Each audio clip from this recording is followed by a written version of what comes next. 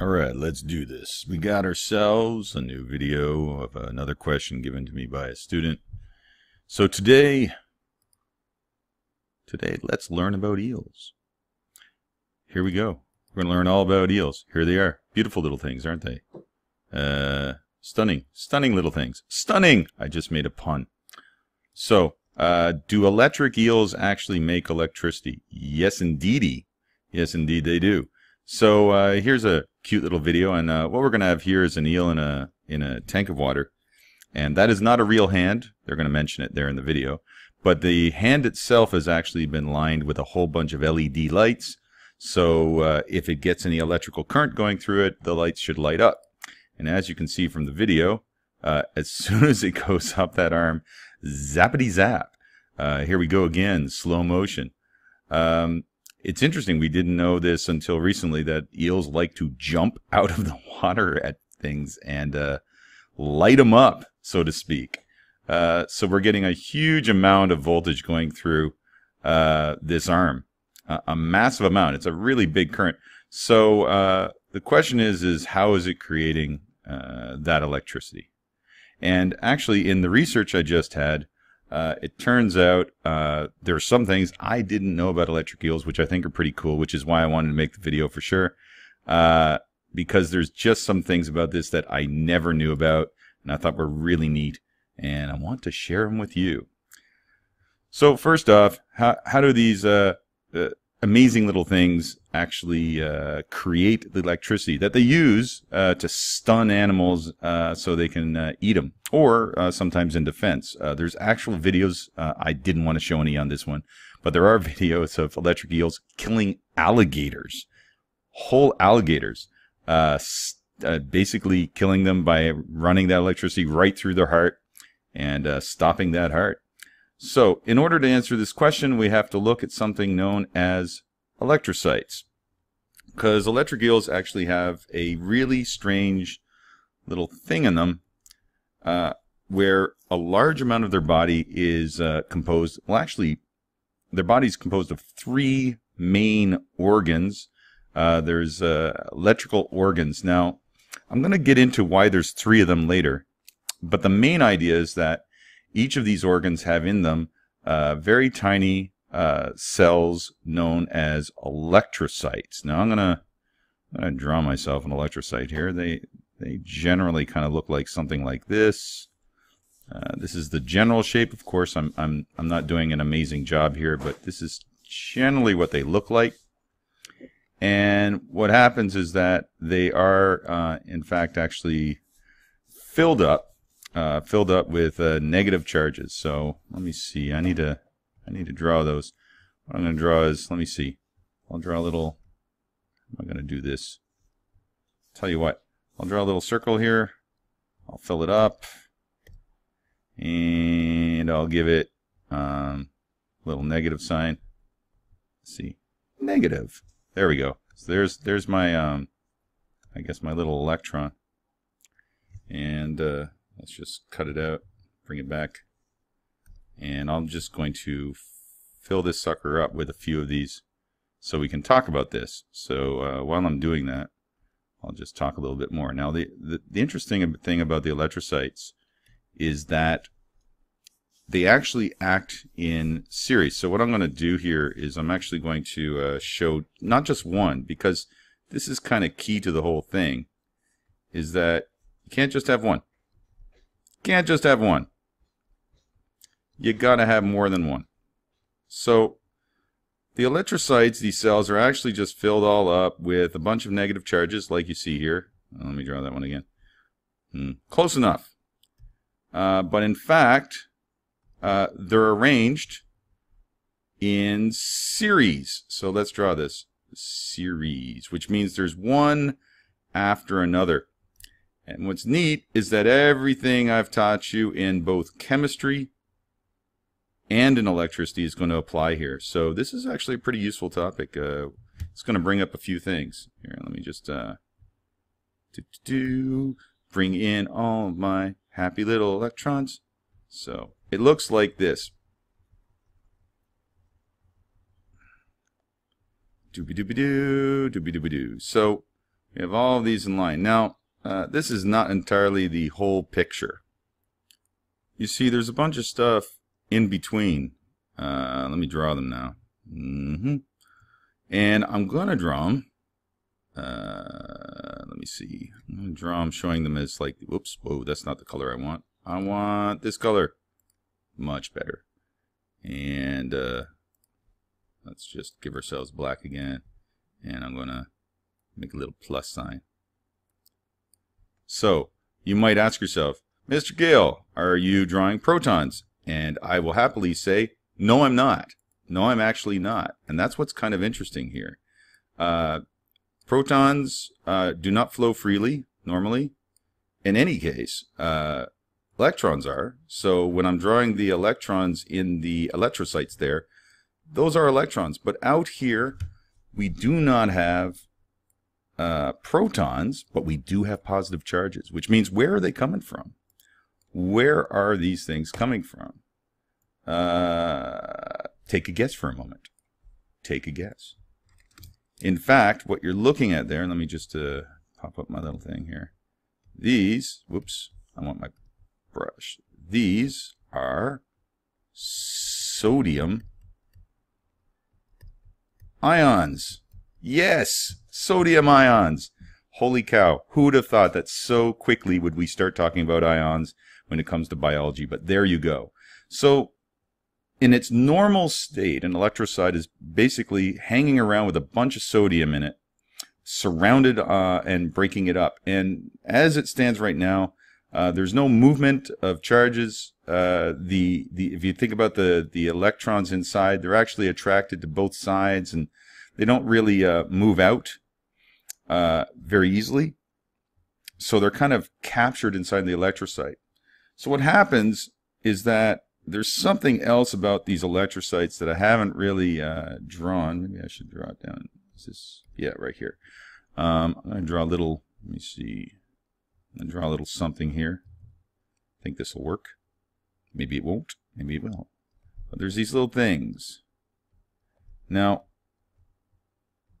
it just so happens I'm going to call these uh, by a special name.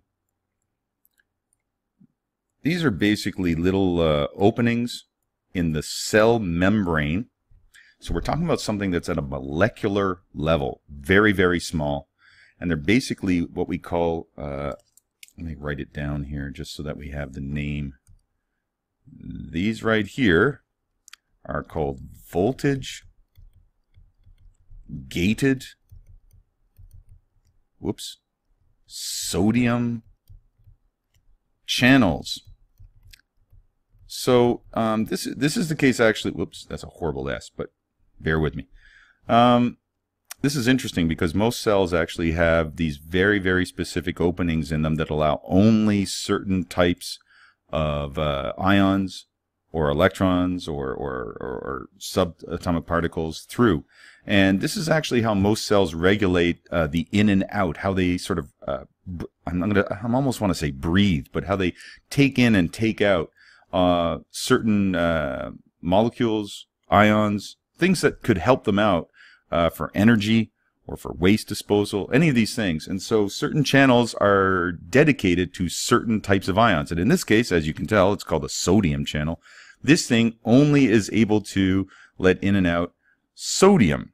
So as a result, what happens? So as soon as the eel freaks out, uh, because it's, say, uh, scared of something happening, uh, it suddenly lets in sodium into the electrocyte. So, boom, they all move like that.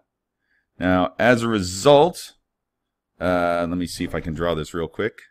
All of the electrons uh, are sort of basically charged only on one side. So if you had to think about this, uh, let me just draw in red here. Two, two, two, two, draw in red, because red is a pretty color. Okay, so that means if I look at this, the electrocyte is now uh, on one side uh, very negatively charged, and on the other side positively charged. And then this one, positive, negative, positive, negative, and on and on and on. So what we have is a bunch of batteries in series. So what was once just simply a bunch of cells hanging out side by side are now suddenly, let me just draw this as, a, as an image here, is basically now a positive, negative, positive, negative, positive, negative. In fact, I probably could draw this even better. Let me draw this even better. It would be positive, negative, positive, negative, positive, negative. So if you think about that, remember when we used to draw how batteries are made up of cells. Hey, neat. They're called cells too. Cells. And then these are called cells. Isn't that cute? But the whole thing is one giant battery. So what happens is that each single cell has a certain amount of voltage difference. Remember what we talked about the last chapter about voltage differences. So each of them has uh, approximately 0.15 volts. And then this is another 0.15 volts. And this is another 0.15 volts. So what's happening is that I'm getting, uh, say, say this is uh, voltage 1 and this is voltage 2 and voltage 3. And if I look at something like this, I got V1 plus V2 plus V3 and on and on and on. How many of these are there? Well, actually, as it turns out, there are thousands of these in a row, which means I'm, I'm basically multiplying uh, this number right here by several thousand. And in the end, the eel, uh, with one single burst, is able to create up to 500 volts. Uh, one hell of a bang. And uh, releases it. Now, the way it works, let me see if I can just get rid of this is that these are in series, as I said. So what's happening is that the electrocytes are starting, uh, uh, well, somewhere around here, and then they're in series all the way down. I'm not going to draw them all, but all the way down to the tail. So basically, this is one super long battery, and then where's the wire? Remember, a circuit requires a uh, a loop.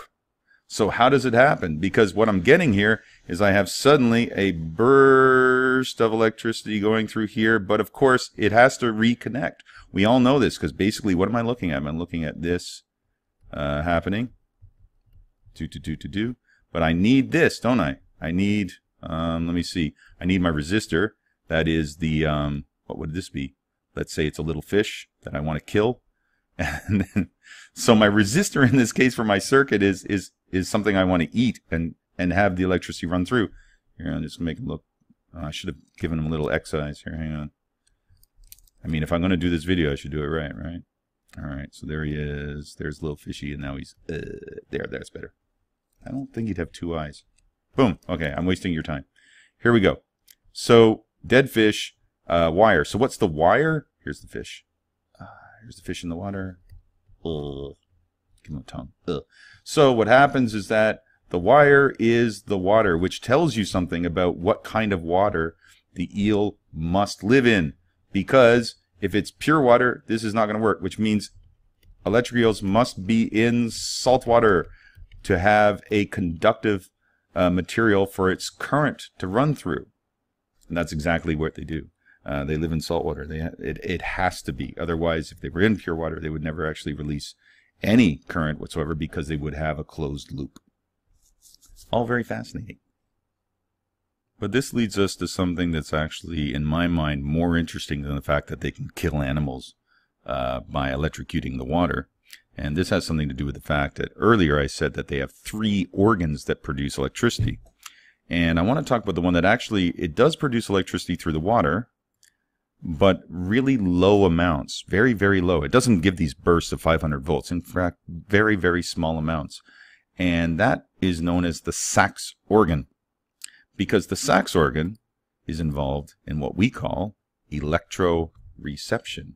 Gee, Mr. Gill, what's that? Let me tell you. So electroreception is this fascinating thing, and I'm going to need to, let me see, I'm going to need to draw something here.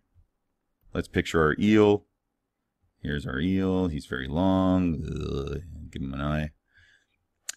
So when uh, what we do know is that the eel is going to be producing a electric field around itself with the Sachs organ. So it, it produces sort of, uh, it emanates this field. Now the field would almost like you might notice that this will look a little bit like a like as if it's a magnet.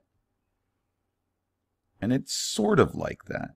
Electric fields and magnetic fields have a lot of the same um, I guess ideas behind how we create them and everything, but they are different. Uh, just so it's clear, magnetic fields and electric fields are different things entirely. Um, so you don't want to mix them up. So we're here talking about an electric field. And what happens is that the electroreception is the fact that an electric eel can detect objects in the water. In other words, it's another way it uses to see things, find prey, find enemies, uh, locate rocks, stuff like that. Because uh, as you can see, this would be an electric field where nothing's in its way. But if I took an object, uh, let me see, let me just change the color again. I'll draw something green. I haven't done green. Let's say that I introduced um, some object here that was a insulator. Insulator.